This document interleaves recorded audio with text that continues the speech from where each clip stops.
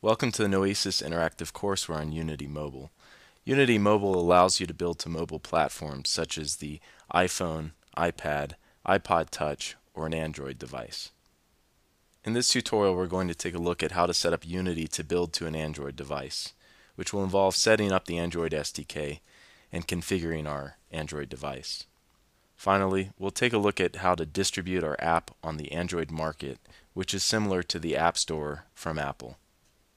Other tutorials in this series include a tutorial on how to set up Unity to build to an iPhone, iPod Touch, or other iOS device. And finally, a mobile game scripting tutorial which makes use of accelerometer and multi-touch data for the purposes of a skateboarding game. This tutorial assumes you have Unity 3 installed and an add-on license for the Android build target. If you don't currently have the Android add-on license, you can request a trial license from Unity Technologies.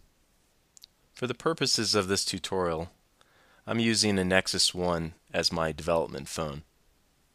You can find all Android-based phones under the Google Phone Gallery, which you can get to by searching for Google Phone Gallery from any search engine. The most important thing when selecting an Android device for development is to make sure that it has Android version 2.2 installed and has a 3D accelerated chipset.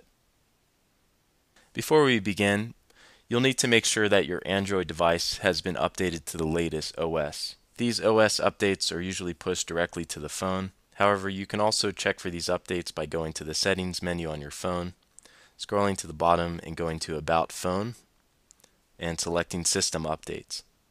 At this point, you should have the Unity manual open in your web browser.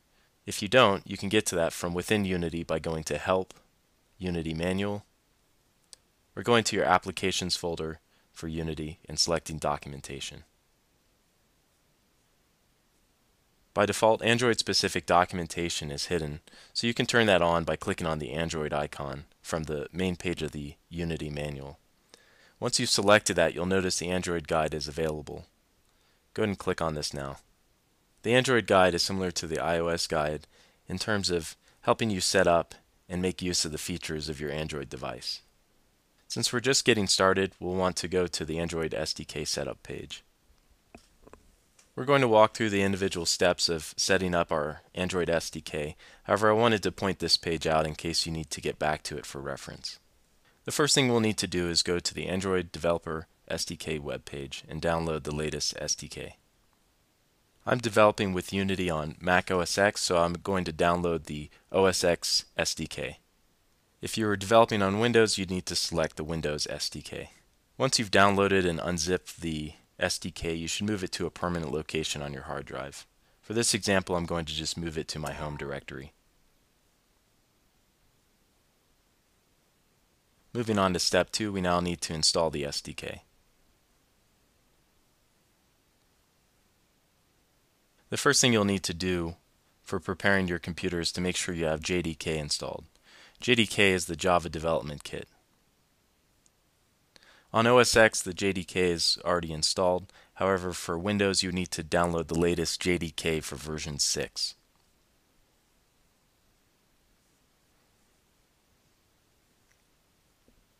Step 2 of the install process was downloading the SDK and unpacking it, which we've already done. Step 3 we're going to skip because we're not using the Eclipse IDE.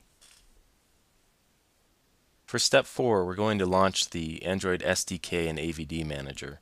It's located under the Tools folder of your SDK install. Launch the Android SDK and AVD Manager. You'll notice that we have no devices currently set up for development, which we'll do later. But first we need to install the latest SDK platform package for Android version 2.2. At this point, you may only see Android repository and third-party add-ons in this available packages window. Simply click the drop-down arrow next to Android repository to reveal all the available packages. So I'll select that now. You should see newer versions of the SDK in this window that were added after this tutorial is recorded. It's usually best to work with the most current version of the SDK and hit Install Selected. Install Once the SDK platform package has been installed, it'll show up underneath the installed packages window. The next step in setting up our Android device is to get it recognized by the system. However, before we do that, let's first download an example project that we'll be able to use to test the device. I like to use the Touch Phases project from the Unity blogs website. This project allows you to do a quick test of whether your touch input is coming through from the device properly. You can get to it from blogs.unity3d.com by searching for touch phases.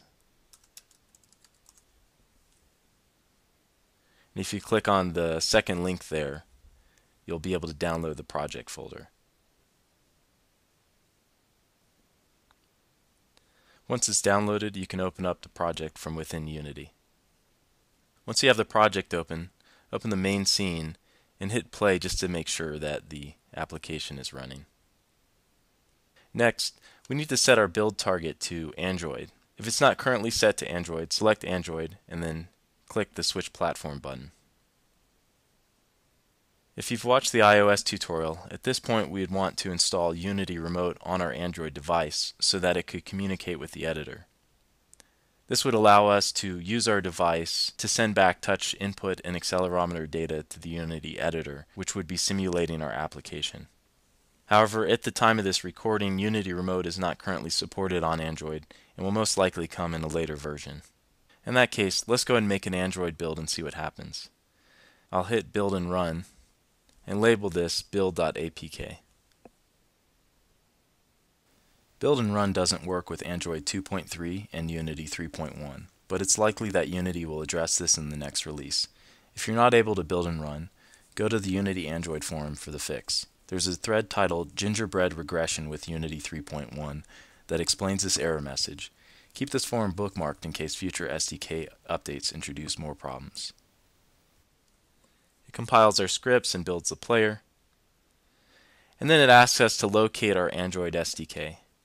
This is where we moved it to our permanent location, which I put under my home folder. You'll notice we got an error when we built our player, and that's because no Android devices were found. We haven't yet set up our actual Android device for development yet, nor have we set up a virtual device. Let's go ahead and set up a virtual device now. So I open the Android SDK and AVD Manager select Virtual Devices, and hit New. I'm just going to label this My AVD. For the target platform, let's select Android 2.2. The rest you can leave as default. And go ahead and click Create AVD. You can see we now have a valid Android device. Next thing we can do is launch the emulator. So we'll go ahead and hit Launch.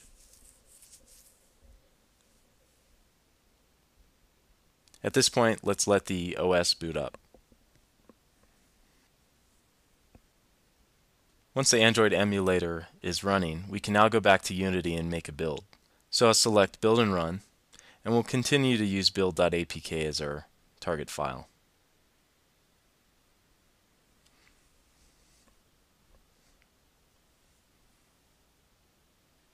You'll notice we get an error. It says device hardware is not supported, and that's because we're running from the emulator.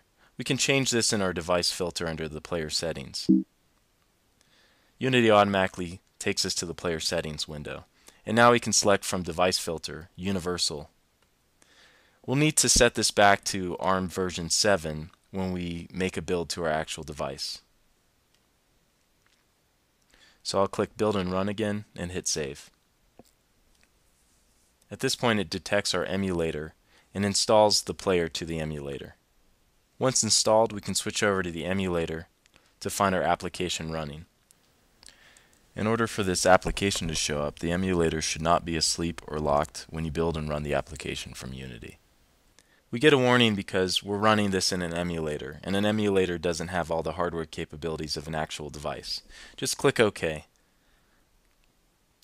And you'll see our Unity application is running. Obviously we can't do multi-touch, but what we can do is click to see that if we had one finger down, that this is how the application would work. However, you can still test GUI buttons by clicking on them. Now that we've been able to successfully build to an Android device from Unity, let's set up our actual device. Since I can't show you the actual phone that I'm using for development, I'll show you the process through the emulator. First we'll go to the Home menu. From there we're going to hit Menu and then select Settings. At this point you want to select Applications and then at the very bottom Development. On your device you most likely don't have USB debugging enabled. Go ahead and enable that now.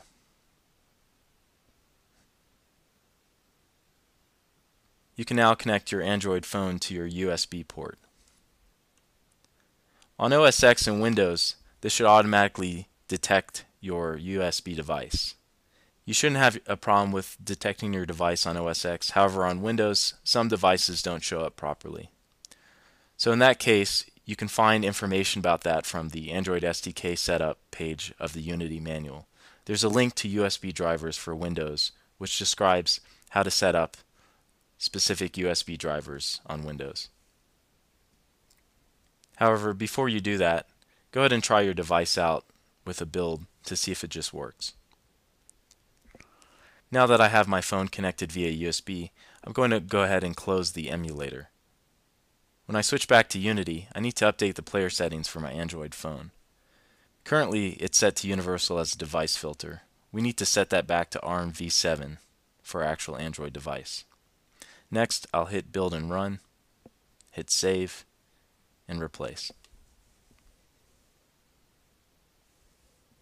At this point, now that I've closed down the emulator, it finds my actual device and installs the player to that device. If everything works correctly, your application should automatically launch on the device.